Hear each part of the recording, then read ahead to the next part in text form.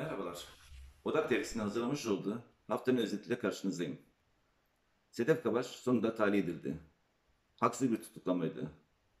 Buna sevinirken Türkiye cezaevlerindeki devrimcileri 10 yıldır, 20 yıldır, 30 yıldır yapan devrimcileri anmadan geçmeyeceğiz. Önce Ukrayna, ardındaki Türkiye, ardından da Türkiye'deki gelişmeleri ele alacağız. Ukrayna hükümeti Batılı emperyalistlerin müttefik olduğu için Ukrayna'daki savaşın acılarını daha yakından hissediyor. Afganistan, Irak, Libya, Suriye ve Yemen'de binlerce sivil öldüğü zaman Batılı basında çok cılız haberler çıkmıştı. Ukrayna Savaşı'nda da ise daha ilk günden sivil ölümler basında ilk sıralarda yer alıyor. Ve bu haksız savaşta Batılı emperyalistler özgürlük ve barış yanlısı olarak gösteriliyor. Oysa Ukrayna'da neonaziler Zelenski ile ittifak halinde ve etkili durumdalar. Nazi örgütlemeleri Batılı ülkelerin genelinde yasak iken Ukrayna'da hem serbest bırakıldı hem de Zelenski hükümet tarafından desteklendi. Zelenski sırtını örgütlere dayamış durumda. Demokrasinin savunucusu geçinen NATO, 8 Mart Emekçi Kadınlar Günü'nde Ukrayna'da savaşan bir kadının fotoğrafını paylaşırken kadının kıyafetindeki Nazilere ait amblemden rahatsız dahi olmadı. Diğer taraftan Zelenski bir Yahudi. Öyleyse neonazilerle birlikte hareket etmesi mümkün değildir. Şeklindeki yaklaşım gerçeği belirtmi gerçeği göstermiyor. Çünkü Yahudi katliamında başrol oynayan Hitler'in yakın çevresinde Yahudilerin olduğu da bir gerçekti.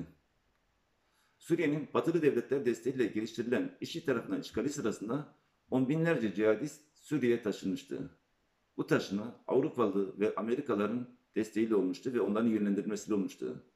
Benzer bir durum şimdi Ukrayna Savaşı'nda yaşanıyor. Bu sefer taşınan cihadistler değil, neonaziler. ABD ve Avrupa'dan şu ana kadar 20 binden fazla neonazinin Ukrayna'ya geçtiği belirtiliyor. Bunlar kendi militanlarını oraya götürerek silah kullanmayı öğretiyor ve insanları öldürtmeyi öldürtüyor, öldürüyorlar. Bunun gelecek için ne kadar tehlikeli bir gelecek için ne kadar tehlikeli olduğu bilindiği halde desteklenmesi ise kafalarda soru işaretleri yaratıyor. Ukrayna Savaşı dünyada ağır ekonomik sorunlara da neden oldu. Petrol ve doğalgaz fiyatlarında gelen zamlar doğal olarak bütün alanlara yansıdı. Türkiye'de her şeye zamın gelmediği gün yok gibi. ABD'nin Rusya'dan petrol ve petrol ve doğalgaz alımını yasaklaması ABD'nin kendisini direkt etkilemiyor. Hatta kazançlı çıkarıyor. O hem petrol hem de doğalgaz ihracatçısıdır. Avrupa ülkeleri genelde petrol ve doğalgaz ithalatçısı olduğu için yasaklamaları direkt etkiledi. Bu durum ABD ile Avrupa arasındaki çelişkileri de arttırdı. ABD bir yandan onlara geçici muafiyetler tanıyorken diğer yandan Rusya üzerindeki ekonomik yaptırımlar artırarak petrol ve doğalgaz ihracatçısı Venezuela ve İran'la İran görüşüyor. Bilindiği gibi ABD uzun zamandır bu iki ülkenin ihracatından ambargo uyguluyordu. Ukrayna'da savaş çıkması için ortamı hazırlayan ABD, Çin ile ipleri gelmeye devam ediyor. Zaten ABD'nin esas hedefi de Çin değil mi? Erdoğan'ın Rusya ve Ukrayna arasındaki arabuluculuk girişimleri nihayet sonuç verdi. 10 Mart Perşembe günü Ukrayna ve Rusya Dışişleri Bakanlarının Antalya'da bir araya gelmesi Erdoğan iktidarının prestij kazanmasını sağladı. Görüşme ise sonuç alınmadan bitti. Erdoğan, Ukrayna'da savaştan kendi iktidarı lehine sonuçlar çıkartmaya çalışıyor. ABD tarafından ise sıkıştırma riskini beraberinde getiriyor bu durum. Türkiye'nin hem Rusya ile hem de Ukrayna ile yakın ticari ilişkileri olduğu için en çok etkilenen ülkelerden birisi oldu. Rusya'dan alınan gaz ve petrolün fiyatı sürekli yükseliyor. Savaşla birlikte Ukrayna ve Suriye, Rusya'dan kalkan gemiler durduğundan ayçiçek yağı ve tahıl ithalatında zorluklar yaşanıyor. Bu da Türkiye'de tarım ve hayvancılığın tasfiye edilmesiyle ülkemiz ekonomisinin nedenle dışa bağımlı hale geldiğini gösterdi. Türkiye bir zamanlar tahıl ve hayvancılık alanında ihracat yapar durumdaydı. Şimdi ise yurt dışından alınan samanlarla yine yurt dışından alınan hayvanlar besleniyor.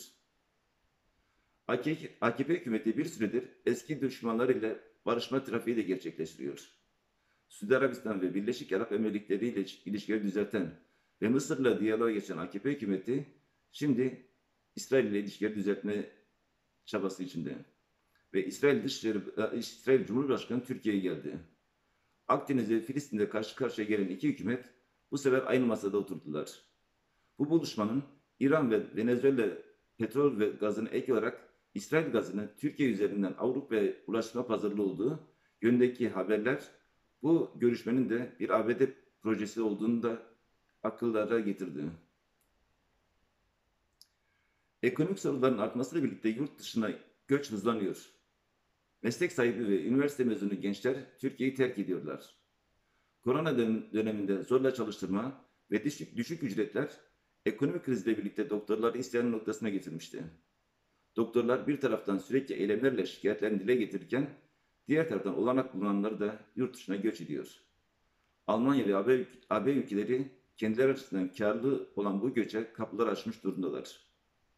Erdoğan ise buna çözüm bulmak yerine giderlerse gitsinler. Bizde bir sürü üniversite mezunu doktor çalışma için sırada bekliyor diyebildi. 8 Mart Dünya Emekçi Kadınlar Günü dünyada olduğu gibi Türkiye'nin de birçok alanında sokak eylemleriyle ve yürüyüşlerle kutlandı. Polisin zorlamasına karşın durdurulamayan coşkulu eylem İstanbul'da gerçekleşti. Farklı kesimlerden kadınlar İstanbul'un birçok noktasında buluşup yürüyüşe geçti.